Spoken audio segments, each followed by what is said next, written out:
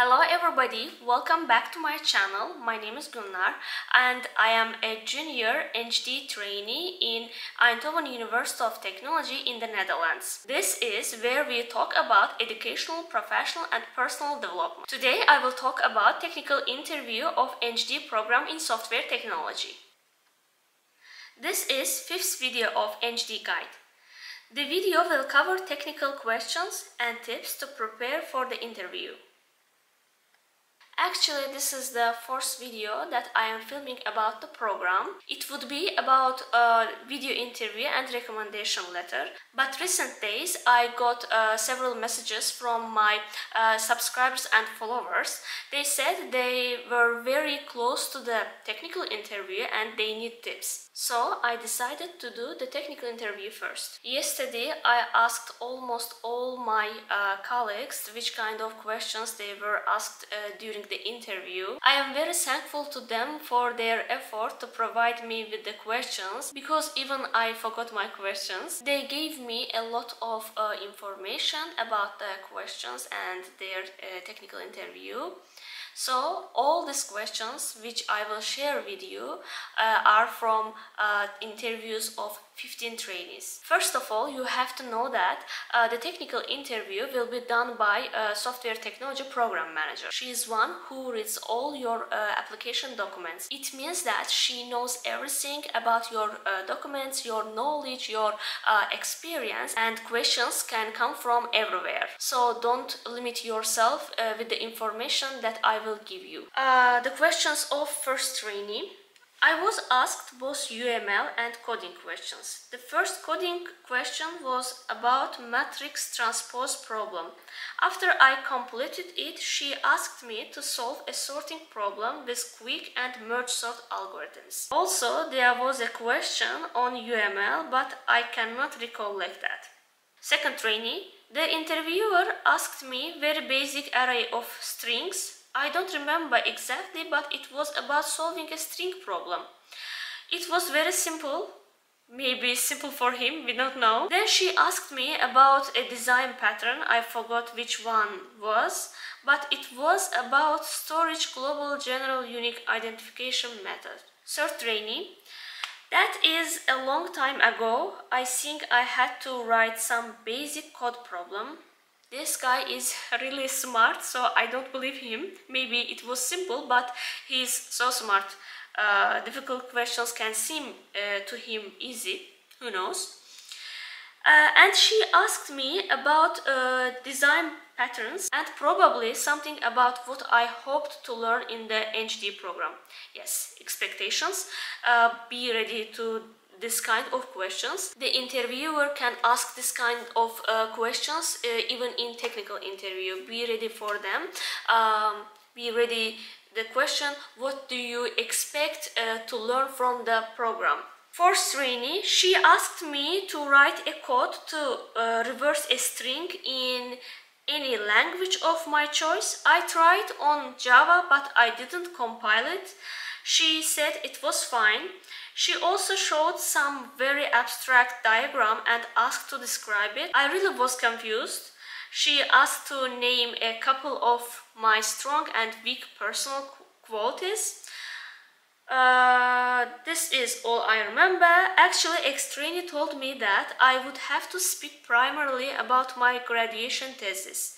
But on interview, she told that the thesis was fine and she didn't have any questions. It means that she can ask uh, the questions about your thesis, but actually um, I was not asked about my thesis either. Uh, fifth trainee, I was asked some HR questions and some technical ones. Technical ones that I remember were some code snippets uh, merging two lists or a specific type of search in a list in Python to evaluate my knowledge over algorithms. Then she asked some UML questions, analyzing a UML diagram and finding the design patterns used in there. Also, she asked me some algorithms in graph theory. I remember only Dijkstra. Learn how to implement Dijkstra. Training number 6. She asked me Dijkstra algorithm object-oriented programming, UML, and finding the number of specific words in a sentence. And she asked me to design a social network with best data structure. She showed me a UML diagram and asked me what is this system doing and what design patterns has. Number seven, I was asked something about sorting algorithms and something about graph algorithms like Dijkstra. We saw Dijkstra algorithm third times so far, so learn it. Learn it. Number eight, yeah, this is very long. He provided me a lot of questions. We talked briefly about some of the subjects I followed during bachelor and master. I was asked a lot of personal questions like what are my strengths and weaknesses? Why did I go for EngD not to work or PhD? Where do I expect to see myself in several years? For technical challenges I had, could a function that can replace every space in a string by a 20% without using a native replace function or something like that. For this, she just asked me, does this work in C Sharp? Code a function that, given a matrix containing zeros and ones, as soon as there is one zero in a row, it should replace every zero in that row.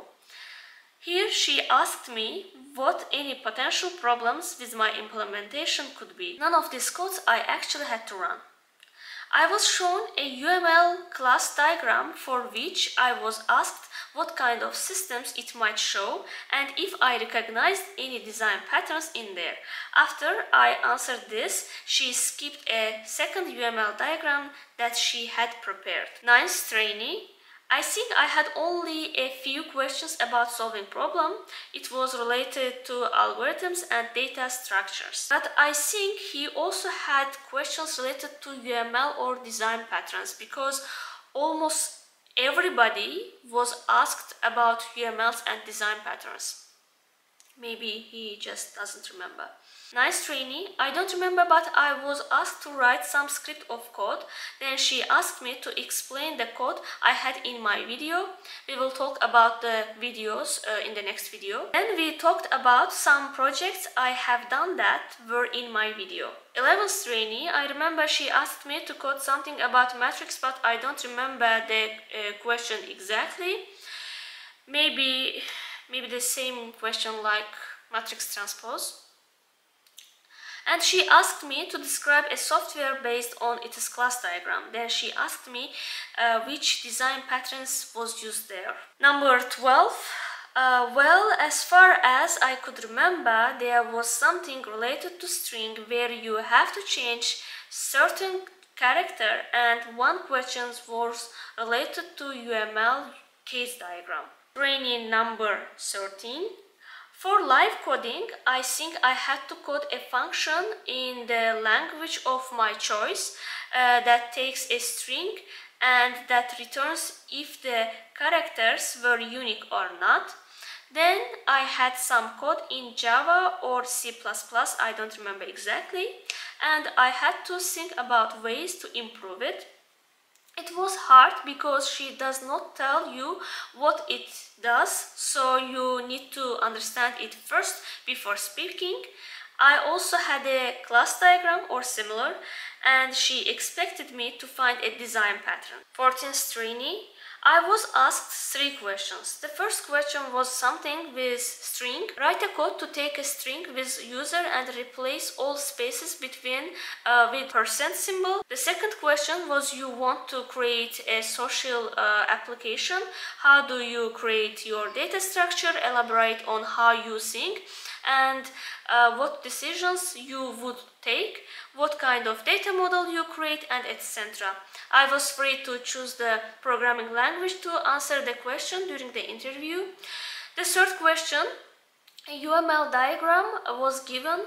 Uh, the question was what it was about and what kind of information it had, explain a bit, what kind of design patterns did it have, He said uh, the questions are related to the CV mostly. If you write you are familiar with uh, UML or design patterns, they are highly probable to be asked during the interview. 15th training, the last one, I was asked to solve a problem related to strings.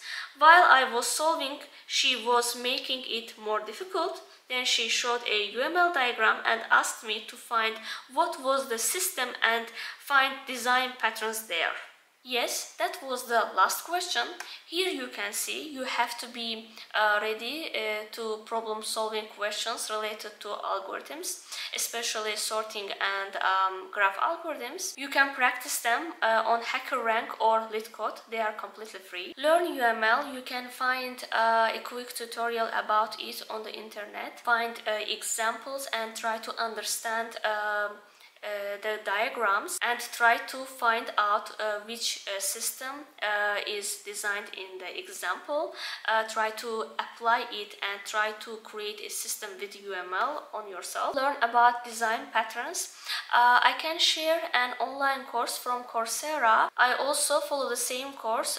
It is from University of Alberta. It is really good. So be ready uh, system design uh, questions. Also questions related to your CV the projects you worked on and your thesis. I will share all useful uh, links in the description for you I hope the video was useful for you. If you like the content, you can put like to the video and you can leave dot, comma, smiley or comment below so that the YouTube algorithm can recognize you and show you more such videos. You can also subscribe to my channel if you want to watch uh, the videos I share on uh, YouTube regularly. Take care until I see you in the next video. Bye bye.